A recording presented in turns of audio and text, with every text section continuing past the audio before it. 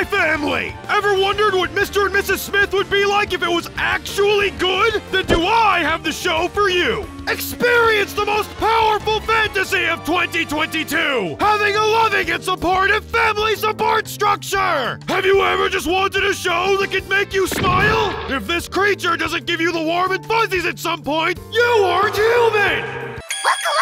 Revel in the wonderful cast of characters and the precarious balancing acts they must put on lest their deepest and darkest secrets be exposed to the world. This animation is fucking gorgeous! A mix of subtle, expressive character acting, wonderfully choreographed action scenes, and incredible composition makes for a show that is an absolute joy for the eye sockets. Not to mention the OP and ED are heavily stylized throwbacks to Cold War era spy films and have absolutely monstrous command of color theory, making for wonderful pieces of animation you cannot legally skip. If you skip the Spy Family OP or ED, I hate you. Have you ever wanted world-renowned Seiyu Saori Hayami to be your mom? You're in luck. Have you ever wanted world-renowned Seiyu Saori Hayami to kill you?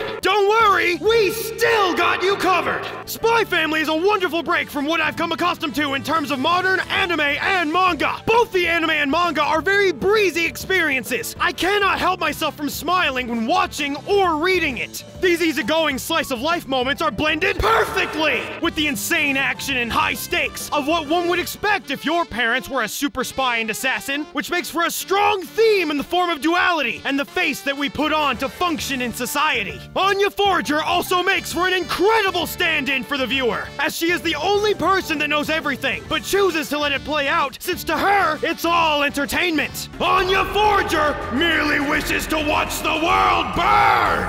Oh, and also, Look at this good boy! Look at him! Who's a good boy? Fucking watch or read, Spy Family! And also, the X is silent! Ah!